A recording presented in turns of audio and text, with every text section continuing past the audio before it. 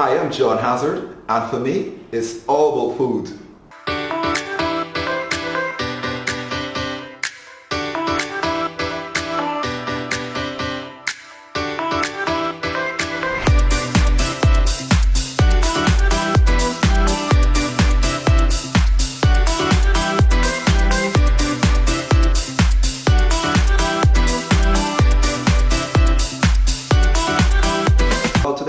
You how to make a sorrel, and sorrel is something I grew up with as a boy in Barbados. Mom at Christmas time, uh, which is so many fond memories for me, used to make a tremendous amount of sorrel. She'd make it for my brother, sister, myself, and sorrel never lasted really in the house. And up until now, as a grown man, I really enjoy sorrel at Christmas, and on Christmas Day I have to have sorrel. But the other thing about sorrel as well too is that sorrel is something you can drink through through the entire year. So it's one of my favorite beverages and I want to show you how I make my sorrel. Very simple, nothing complicated. Uh, ingredients of course which you can source anywhere, anywhere you live in the world, but it's a really amazing drink. So basically I just want to run through the ingredients with you first. Sorrel of course, we need some dried sorrel. So I have some packaged sorrel here, I'll just show it to you. And uh, I bought this in the supermarket. And it normally comes with uh, some other things you put in the sorrel as well, what I use, which is basically um, some, some uh, bay leaf. So let's take this open as well so you can see it. My scissors is not that sharp for some reason. So right here you can see uh, pretty much we have some bay leaf, which I'm going to drop into this uh, container here. I also have some cinnamon stick as well too. And of course some cloves, which I add to my sorrel. And this is the sorrel here. It's also called hibiscus as well, but normally we take this in Barbados and we tend to dry it out in the sun. I can remember mom putting it out on like a tray and she placed it in the sun outside. And when it comes really, really nice and dry, then we use this to make a sorrel. So basically this is a sorrel leaves here, the hibiscus leaves. I'm gonna drop these right inside here. So I kind of open the pocket. Drop these right in here. And of course, this here you can purchase in any supermarket. I have seen this all over the Caribbean. Um, I'm sure you can get this anywhere in the world. Uh, but it's just basically dried sorrel leaves. Another name for it is called roselle or hibiscus flower. So that's pretty much that there. So I put this in here. We already have our cinnamon in here. We also have our cloves in here as well too. I also have what I really enjoy is some star anise. So these are star anise, which I'm going to add in here too. And I have another cinnamon stick, so I'm just going to break this and add this in here. And then the other thing as well too, I like to add to my sorrel. I have lime, I also have some orange, and I also have ginger, and I like to add these to my sorrel as well. So what I do, I take the lime skin, I'm just gonna peel, I think for this amount I'm making, I'm gonna use this entire lime. I'm just gonna peel the skin all the way around so I can drop it into the dish here. And we're gonna peel this all the way around. I'm just gonna get this now, that right in there. What I'm gonna do in the interim, I'm gonna turn my stove on because we need to have some, some hot water. And then you also have an orange as well, so I'm gonna add my orange as well too. My orange skin, or you know, we call it orange rind or orange skin. So I'm gonna peel this all the way around also. And this adds a phenomenal flavor to the sorrel, especially the lime skin as well. Really, really makes it flavorful. So all of these spices enhances the flavor. So we're going to drop this right in here. Just going to pull this in half. And then the other thing I love as well is ginger. And I wanted to show you about ginger as well. Uh, basically with the ginger, what you want to do in terms of ginger, you want to scrape it. So I tend to just use the back of my knife and I scrape the ginger all the way off, the skin off actually. So you're just scraping the skin off. It doesn't have to be perfect because we're going to strain all this stuff out, but I just want to get, uh, just take off some of the skin. So that's good. Going to do this next one as well. So just peel this all the way off.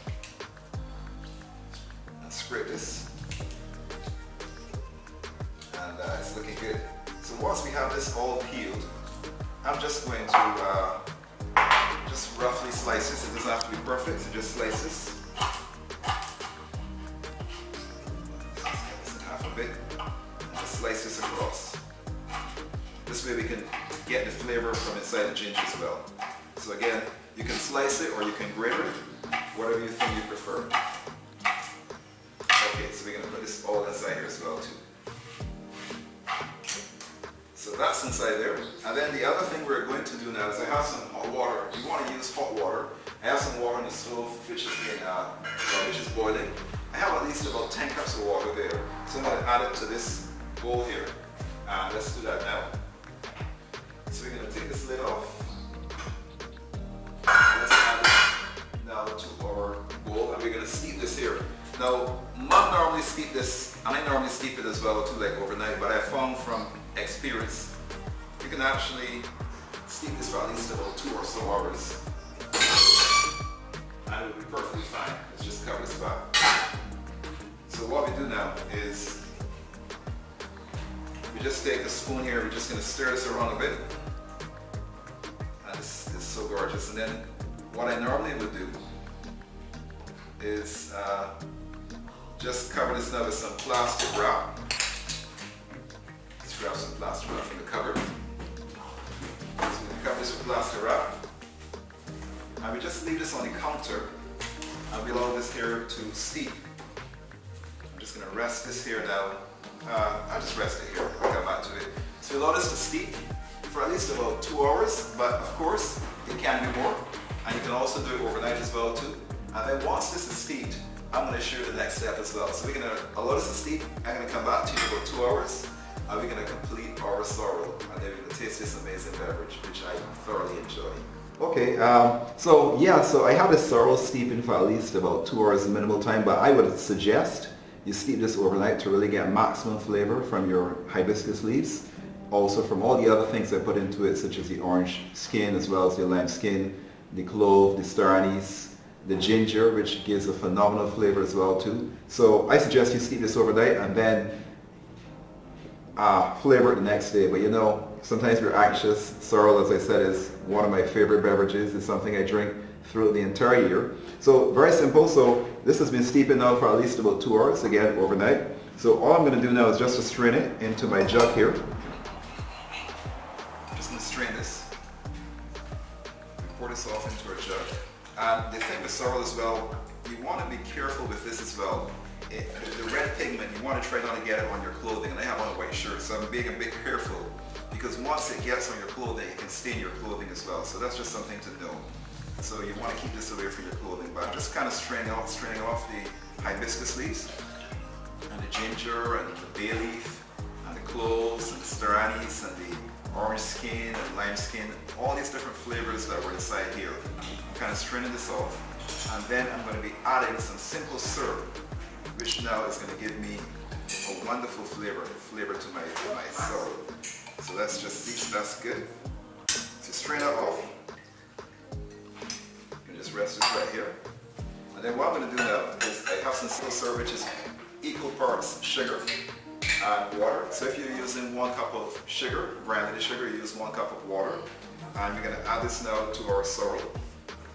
And this is like our sugar basically. So instead of adding sugar, because sugar tends to take a bit of time to dissolve, I added the uh, simple syrup. So we're gonna taste, stir this around.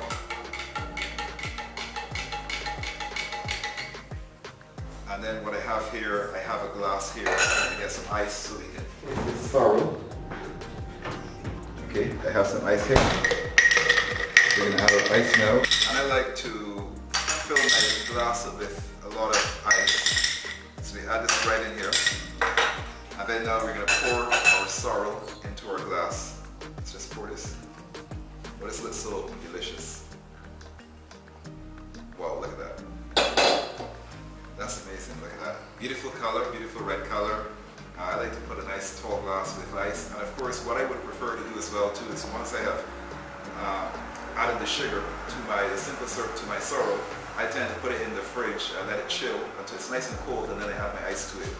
Because I find when you add ice to a warm drink, it tends to kind of, the ice tends to water down the drink a bit. But let's just taste this and see what it tastes. That's amazing. That's refreshing. And it's so rich, I can taste ginger and it contains the spices as well to instead of it. It's really an amazing, refreshing beverage. So this is the Bajan sorrel for you. So if you have enjoyed this video, please like, subscribe, ring the bell. And again, I'm John Hazzard, and for me, it's all about food.